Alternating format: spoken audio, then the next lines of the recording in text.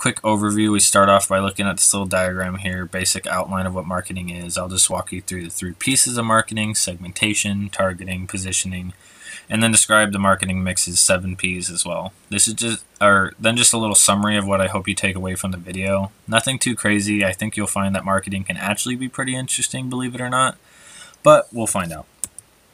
So first we're going to look at segmentation. Basically segmentation is when you divide your market or the people who may potentially purchase your product or service uh, into different pieces called segments. Now there's four main segments that marketers tend to divide their markets into and those are demographic, psychographic, behavioral, and geographic. And I'm going to go into each of these a little bit more. Um, Demographic, think about filling out those boring survey questions. It's going to ask you your age, your gender, uh, your income, maybe your family size, whether your family whether your family is a family of three or a single mom, that makes a difference in who may buy your service. Um, a large family may not need a babysitter as frequently as a single mom with two jobs, for example.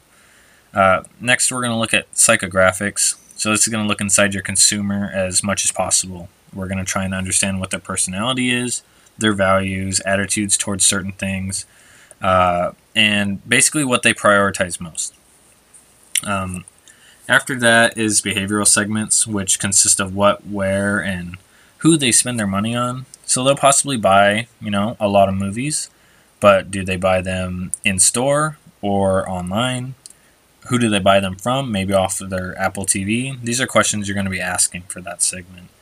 And Lastly, we have geographic, and this is a bit self-explanatory, but we're going to ask things like what city do you live in, so maybe that's Paris. What state do you live in? Arizona, what country, United States, maybe even what region it is, so you can focus on different weather patterns, frequencies of purchases that go along with that. Um, and that basically sums up our segmentation piece. Uh, so next we're going to talk about targeting. And when you look at targeting, you're basically wanting to figure out what service or product you're trying to offer and decide what segment would be best fit for the consumer that you're focusing on. Uh, think about it like you're narrowing down the filters on an Amazon purchase. You add the things you want, you hide the things that you don't. This allows you to be more effective with your message rather than spending all the money to have just everyone see it. Uh, Instagram and Snapchat do this very well because when you're watching makeup tutorials on Snapchat, the ads that are in between will have to do with makeup. Whereas if you're looking at cars on Instagram, uh, ads for vehicles near you tend to pop up. But kind of another example of where you'd use targeting could be when you focus on college and high school students. Uh, what you're offering needs to be young and relevant, but still stylish because people want to show off to their peers. Uh, however, younger generations are starting to care about our environment, so you may want to focus on being more ethical and sustainable to appeal to that younger audience. Uh, you can kind of compare that to the boomer generation. So boomers are going to focus more on how well it works, not necessarily how it looks, and that's why those old people shoes such as New Balance exist. Also, you have to realize that if you have a technological service that you're selling, like this Prezi presentation, uh, it needs to be easy to use because that generation wasn't born in the technology. It tends to be a little bit more difficult for them to catch on. Um, and so that's basically targeting, and that really just brings us into our last overarching idea of positioning, which is actually going to combine segmentation and targeting and kind of explain why we do them. Uh, positioning is focusing on where in the consumer's mind your service is ranked and what perceptions they have about you. So marketers need to know what segment they want to focus on and target them effectively so that consumers will rate your service as the best. Uh, if we think about the brand Gucci, one of the things they sell is high-end bags as well as accessories. More often than not, Gucci is going to target wealthier women who are middle aged, desiring status, or maybe already have status that they want to show off. So, this is where positioning can get tricky. Uh, when a le- less wealthy woman looks uh, and thinks about Gucci, they may view it as a complete waste of money, or they may aspire to own one, hopefully, when they have enough money. That same division of position can be seen when wealthy women are looking at the brand Gucci. Um, they might see it as a sense of status, which is what Gucci wants them to see them as, or they might hold Gucci to a worse position and think that they're just another mass produced bag. That's why it's important to target the correct segment with the correct message and shape the correct position as best as you can. Now, positioning, segmentation, and targeting are all very important, but that kind of leads us into the seven P's of the marketing mix. Uh, so think of these seven P's as kind of a guideline or overview of what points a marketer uh, will focus on with their service. So, product's going to be the first P we look at. This element of the marketing mix will focus on the physical good and its features, the quality level, accessories, packaging, warranties, product lines, branding, etc. Uh, marketers just tend to use this to appeal how their physical product meets the needs of consumers on the basis of how it looks, feels, and works. Uh, usually, this is going to appeal to their senses, but marketers need to be aware that any features that may be a turnoff for consumers need to be avoided, and maybe features that they don't understand or can't figure out how to access. You just got to keep it as simple as much as you can. Uh, specifically, think of an iPhone.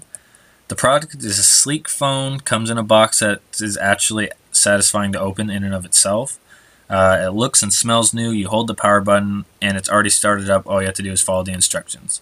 Now compare that to an Android that's cheaper on the market. A lot of times the experience is not as pleasing. Um, and next we're going to look at place. So this is where you're going to go get your service or product sold. Is it going to be sold out of a store? Will someone have to order it online? Will the service take place through an app or an employee? These are some of the questions you might ask when considering the place for your service. Um, you need to keep in mind how easy it is to have access to what you're trying to sell because if people can't get there, if it's too much of an inconvenience, they'll choose another option. Uh, Starbucks, for example, uses this to their advantage, and you'll notice that if you go to ASU specifically, there will be a Starbucks around every corner and building you go. So that means they will never have that out of sight, out of mind psychology used against them because you're going to smell them and see them every day because they just picked a great place to market. Um, next is price. Uh, price is usually easier to understand. It can have some hidden effects that you didn't think about. Uh, there's more to it than just making money. So, does your brand need to undercut the market, take a loss of revenue for the sake of getting your name out there? Um, do you need to penetrate the market by pricing your service near cost so that you can make enough profit to stay alive, but kind of hurt those others who may be in competition? Uh, you may think people want to have price leadership, uh, which is just lowest cost, you know, but that can hurt your brand or service if you're too cheap because not only do you lose money, but you also lower your brand image saying you're worth less than others who are charging more. So, marketers need to understand that price can have a huge impact on perception. So, if you're offering a really good and unique service, then your pricing should reflect that. An example of this can be seen how uh, Google entered the phone market when they first came out with uh, the Pixel, it was only about $400. A lot of people bought their phone just because it was cheap for the amount of technology you were getting. Now they just penetrated the market, got a decent market share. Their phones are all the way up to $1,000, just like the iPhone. Um, so the next P is going to be promotion. Think back to positioning for this one because you're going to focus on your target segment and decide what the best way to reach them is. If you're targeting those college students, for example, one way to promote your service may be free handouts at campus or maybe coupons or freebies. Most college students are going to be on a budget, you know. Uh, now, you don't want to discount your service if it's in high demand because when it goes in low demand not as many people want it, they're going to expect you to lower your prices even more to get them in the door. Uh, you know, so you don't want to do that. You want to avoid that. But you can use in-store merchandising, which would be like branded boxes, or more commonly services will create internet advertisements shown on Snapchat or websites that display deals, etc. Instagram shows me these cool little boxes full of manly equipment because I search for those items frequently. They also provide a deal that says, hurry and get this deal before it expires, making me think they're giving me such a great deal and I should feel entitled to reciprocate by buying from them, which a lot of people actually do. Um, so another really important one that's uh, going to be more important to services, uh, second maybe to the service itself, is people. People include every person involved in creating a service for the customer. So let's think about this from a restaurant perspective. You go to Steakhouse A and they serve you a perfect steak. So juicy, warm, came out at the right time. The price is perfect, but your waiter never comes to refill your drinks didn't offer you any A1 sauce on the side. And when you try to stop him, he puts a finger up and says, Wait your turn, please. Now, Steakhouse B, steak's expensive, like most steak is. Comes out a little undercooked after you waited 10 minutes to get it. You tell your server, and he apologizes immediately. Runs back to the kitchen, and within two minutes, you have a new, perfect steak. Drinks are refilled, and he even gave you an extra side of fries for free because of that mishap. So the quality was perfect for A. They did everything right, but the server ruined the whole system. Maybe the hostess seats you too late or is rude, or the manager doesn't visit your table. The people have to all fulfill their roles to the expectations of the customers, or else the perception of the service will hurt, regardless of the quality of the service itself. And that's important. Um, you need to understand that every single part of a service must have the right people doing the right thing at the right time because one small mishap brings the whole thing to the ground. Uh, specific examples include the guy who answers the customer service call and how friendly he is to you when you need a replacement from Amazon, or maybe how knowledgeable the mechanic is when he describes the issue to you. The next P is going to be process, um, and this is also unique to the services marketing mix. It describes the delivery of the service itself, so how your service is performed for the customer, um, and it includes the quality of the service given as well as the uniformity of the service. So, uniformity would include ideas like carpet cleaning. You want customers to feel like the cleaning you gave them last month will be the same every month after that. And that's harder to do with a service than a product because you have people doing it. Uh, uniformity in delivering a constantly high quality service requires you to have a mapped out process that your employees can follow. And this structure will allow you to provide the same service across the board and allow deviations in services such as one time discounts or circumstantial uh, occasions. As long as you don't do those constantly, customers won't expect them constantly. And they'll see it as going above their expectations. Uh, and just one of the best processes in the world right now is run by Amazon because when you buy an item off Amazon, you're usually buying them because they offer fast shipping and uh, sometimes lower prices. But something people don't realize is they buy from Amazon for a sense of security. They know they're going to get their package at the time it says, and they can count on that. The processes are simple and laid out, and they allow Amazon employees to know what to do and how to do it. Lastly, is going to be physical evidence. Uh, that's just going to be everything you see when you go for the service. So for a customer, what elements are you going to notice, such as the storage location, the layout of the store, how it smells, looks, and feels inside. Uh, again, the service itself may be perfect, but if the physical evidence offends any of the consumer's senses, their evaluation of your service will be lower.